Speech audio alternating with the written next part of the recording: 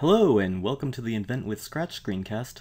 I'm Al Sweigart and in this episode we're going to create this flying space rainbow thing. I don't even really know what this is, but it's really cool to look at. So we're gonna just go into this. I'm gonna click on the red stop sign button and start up a new editor by hitting create. Now the first thing that we're going to do is get rid of this cat sprite. We won't be needing it, so right click on the cat sprite and select delete.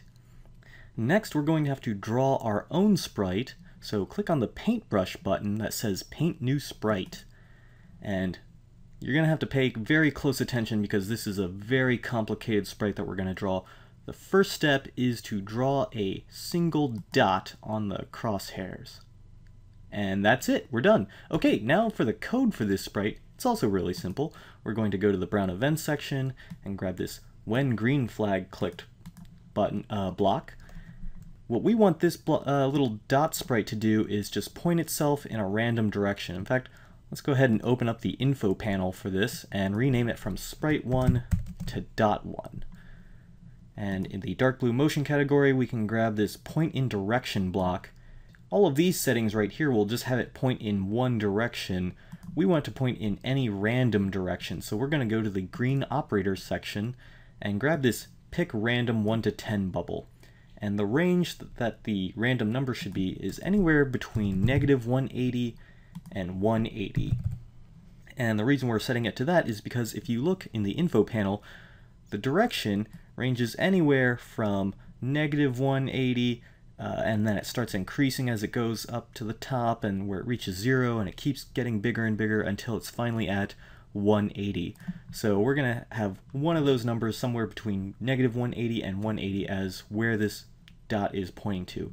That way we can use the move 10 steps block to move it forward in that direction. But first we're going to go to the orange control section and grab this forever loop because we want this dot to be moving in some random direction and then also when it hits the edge of the stage, we want it to bounce. So both of those blocks are in the dark blue motion category. The first one is here in move 10 steps. And then towards the bottom, we're going to have if on edge bounce. So let's test this out. Click on the green flag and we'll see this code in action. Wow, that is really boring, but hey, it's working though, that's good. So the next thing that we're going to do is close the info panel now, to make it even more exciting than one dot, we're going to have two dots. So right click on the dot one sprite and select duplicate. Hey, yeah, two dots. That's twice as exciting as the previous really boring program. And what's great is because we have, uh, when we duplicated that dot sprite, it also duplicated the code here, so we don't have to redo that. Now we're going to need a third dot, and the third dot is basically going to do all the drawing. There's this pen category that has all these tools, and basically you, in Scratch you can have uh, a block that says pen down, and then whenever the sprite moves around, it'll start drawing a line behind it until it reaches this pen up block.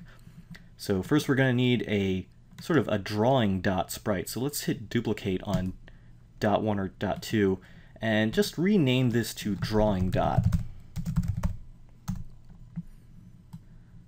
So Let's get rid of this code right here. We don't need this. Our drawing dot's going to do something a little bit different than dot one and dot two.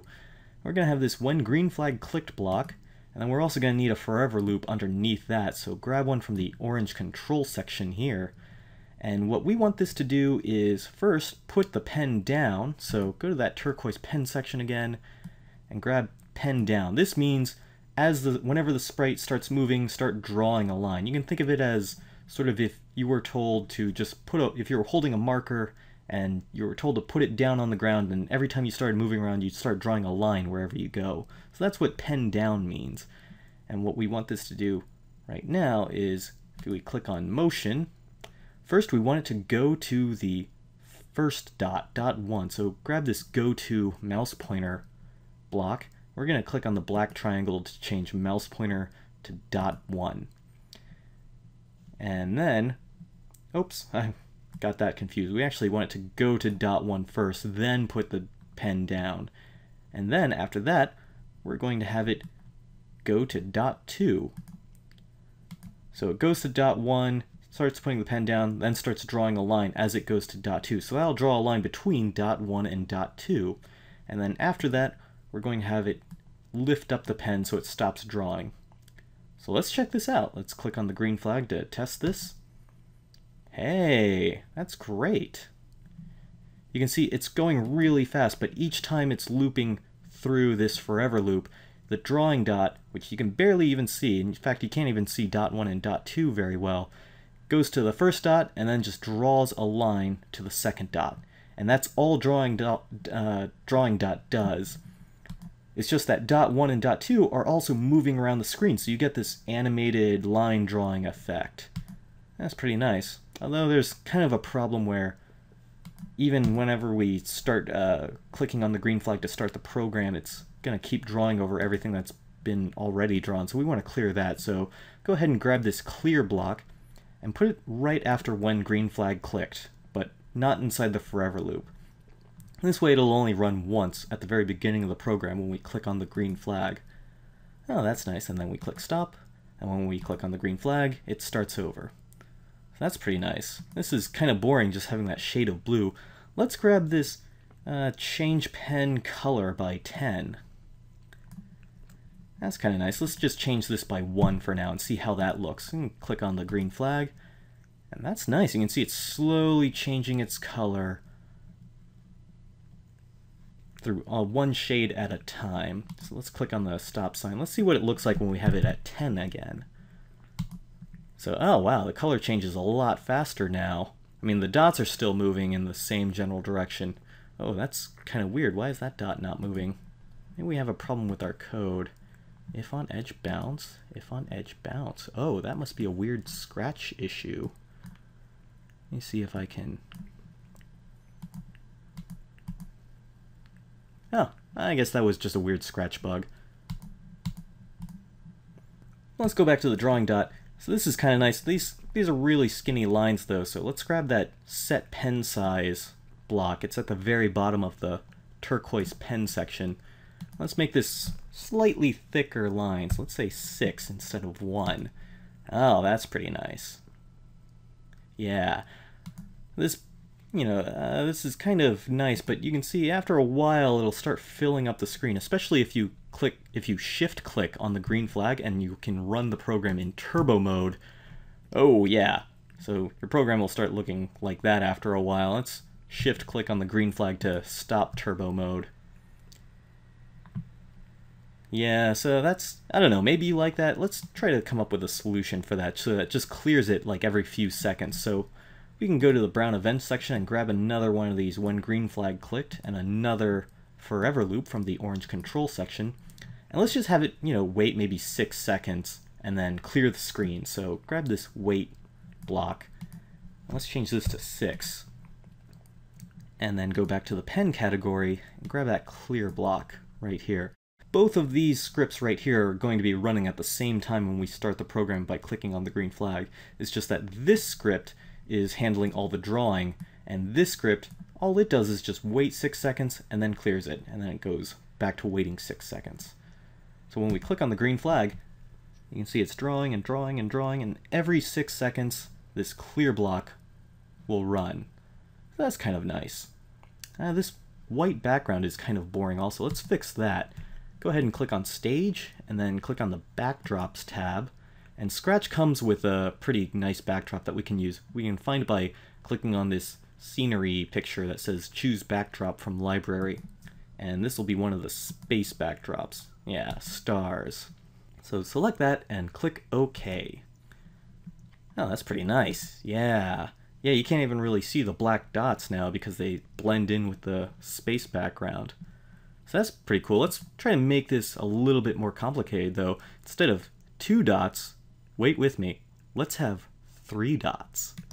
So I'm going to duplicate dot 2, and now it's dot 3. And its code is the same, it's just moving around, bouncing off the walls. Let's go back to drawing dot, and let's have it go to dot 1, draw a line to dot 2, but then from dot 2, draw another line to dot 3. So let's have this move to dot 3 change this by clicking on the black triangle, select dot 3.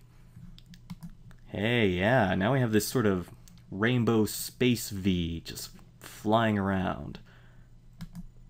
Hey, something even cooler, let's have it go back to dot 1 to form a triangle. So I'm going to grab this go to block and change this back to dot 1.